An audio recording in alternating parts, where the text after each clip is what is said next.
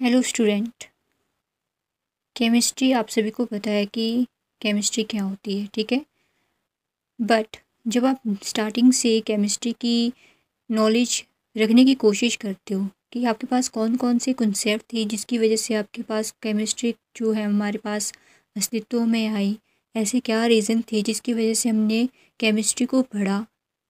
Okay और हमें इसकी क्यों ज़रूरत है? इन सभी चीज़ों का क्वेश्चन जो आपके मन में उभरते रहते हैं, उनका आंसर आज आप इस वीडियो में देखोगे। ओके तो बेसिकली हम प्लस वन इलेवेंथ क्लास की केमिस्ट्री की जो बुक है, उसको कवर करेंगे। तो आपको स्टार्टिंग में तो यही पता होना चाहिए कि केमिस्ट्री एक्चुअल में है क्या। ठीक है, अगर हम बात करें केमिस्ट्री की तो केमिस्ट्री को रसायन विज्ञान कहते हैं। ठीक है, रसायन विज्ञान अणु और उनके रूपांतरण का विज्ञान है। ठीक है? मतलब कि मॉलिक्यूल्स एंड देयर ट्रांसफॉर्मेशन का स्टडी करना हमारे पास केमिस्ट्री कहलाता है। अगर हम डेवलपमेंट की बात करें कि आपके पास जो रसायन विज्ञान है, उसका विकास कैसे हुआ? तो जैसे कि हम आज समझते हैं साइंस की जो ये ब्रांच है केमिस्ट्री बहुत पुराना विज्ञान ही है, ठीक है? इसका अध्ययन केवल इसके ज्ञान के लिए नहीं किया गया था, अपितु इसके पीछे दो बहुत ही ज़्यादा इंपॉर्टेंट रीज़न थे। कि जिनकी दो चीज़ों की आपको डिस्कवरी करनी थी, उसी के लिए जो आपके पास केमिस्ट्री है, उसका हमें अध्ययन करने की आवश्यकता महसूस हुई, जो हमारे पुराने साइंटिस्ट थे उन्हें। ये दो चीज़ें क्या क्या थी जिसके लिए हमने केमिस्ट्री को पढ़ा, वो थे सबसे पहला फिलोसफर स्टोन जिसे हम क्या कहते हैं? पारस कहते हैं, ठीक है? Which would convert all pagan metals example iron and copper into gold so so, हमें इसकी डिस्कवरी करने की नीड इसीलिए जो पारस पत्थर है ठीक है?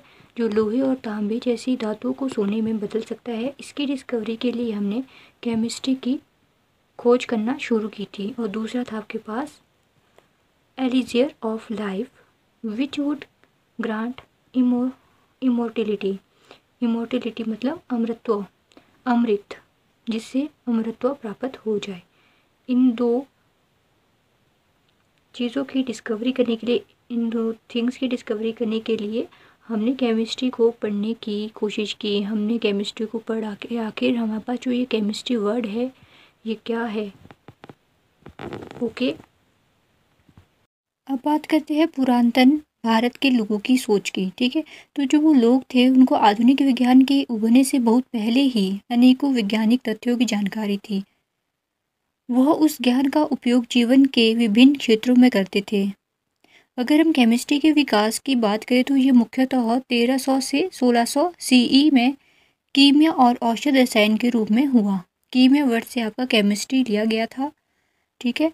आधुनिक रसायन ने अठारहवीं शताब्दी में यूरोप में एक वैकल्पिक परंपराओं के पश्चात आकार प्राप्त किया जो यूरोप में अरबों द्वारा लाई गई थी। पुरातन भारत में केमिस्ट्री को हम क्या क्या कहते थे? रसायन शास्त्र कहते थे, ठीक है? रस तंत्र रस क्रिया अथवा रस विद्या कहा जाता था। इसमें इन्होंने क्या किया कि जो धातु कर्म है, औषध है, ठीक है? कांतिवर्धक है, कांच, रंजक इत्यादि इसमें सम्मिलित होते थे, ठीक है? एंड उसके बाद जो सिंध में मोहन जो दाड़ो और पंजाब में हड़प्पा में की गई योजनाबद्ध खुदाई से सिद्ध होता है कि भारत में रसायन के विकास की कहानी बहुत पुरानी है। ठीक है? पुरांतविक परिमाणों से यह पता चलता है कि निर्माण के लिए पक्की ईंटों का उपयोग होता था। जैसे किसी ने घर बनाने थे तो पक्की ईंटों का बहुत टाइम पहले से यूज़ होता था। ऐसा नहीं है कि अभी से हम ईंट की जो हमारे पास ईंटें हैं, उनके पत्थर है, उनका हम आज घर बनाने के लिए यो, उपयोग कर रहे हैं। ऐसा नहीं है। हम बहुत ही पहले से पक्की ईंटों का उपयोग करते आ रहे हैं, ठीक है? और जो हम मिट्टी के बर्तनों का उत्पादन अधिक मात्रा में किया जाता था, उसमें भी। इसमें हमें और पता चलता है कि प्राचीनतम रासायनिक प्रक्रम इस चीज़ को माना जाता था, जिससे हमारे पास पता चलता है कि जो केमिस्ट्री की ब्रांच है, जो केमिस्ट्री या रसायन शास्त्र है, वह अभी से नहीं, बल्कि बहुत पहले से इस अर्थ में प्रेजेंट था, ठीक है? इसको समझने के लिए फिर हमारे पास न्यू न्यू डिस्कवरीज हुई। डिस्कवरीज होने के बाद हमें पता चला कि एक्चुअल में केमिस्ट्री है क्या। ठीक है?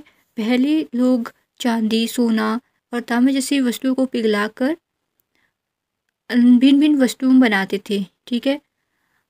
और जैसे हमारे पास टिन हो गया आर्सेनिक हमें मिला। ठीक है? उसके शिल्प बनाने के लिए तांबे की कठोरता सुधारते थे लोग। ठीक है? और भारत में तांबे के धातु कर्म का प्रारंभ उपमहाद्वीप में ताम्र युग के प्रारंभ से शुरू हो गया था। उनके पुरातात्विक परिणाम है, जिसमें हमें यह पता चलता है कि तांबे और लोहे की निष्कर्षण की तकनीक की भारत में ही विकास हुई थी, ठीक है?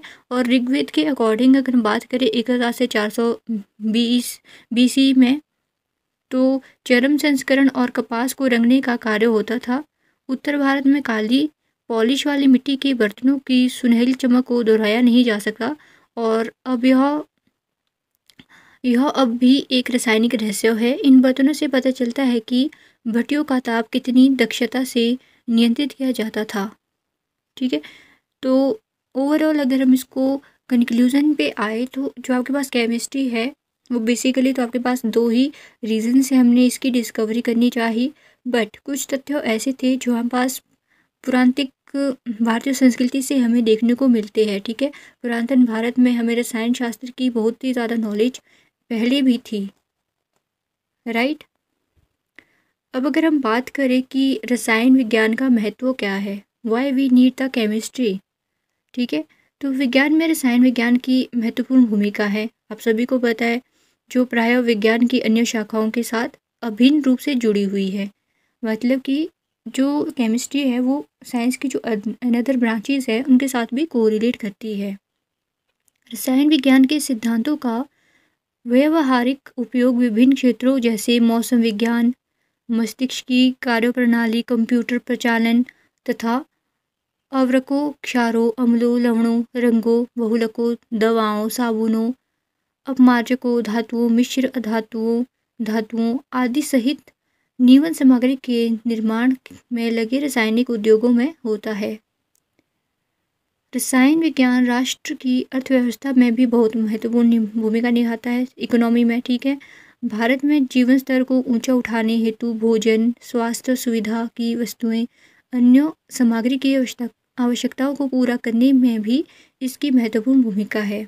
जैसे आपके पास ट्रीटमेंट करने के लिए हम मेडिसिन का यूज़ करते हैं तो उसमें भी हमें केमिस्ट्री की नॉलेज होती है, ठीक है?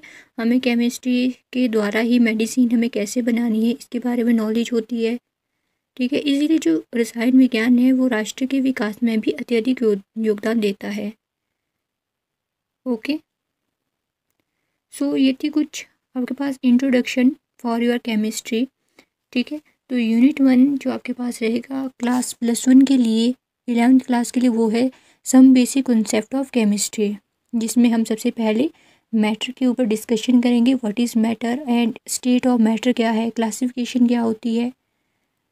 ओके तो इसके बारे में हम नेक्स्ट वीडियो में अच्छे से डिस्कस करेंगे राइट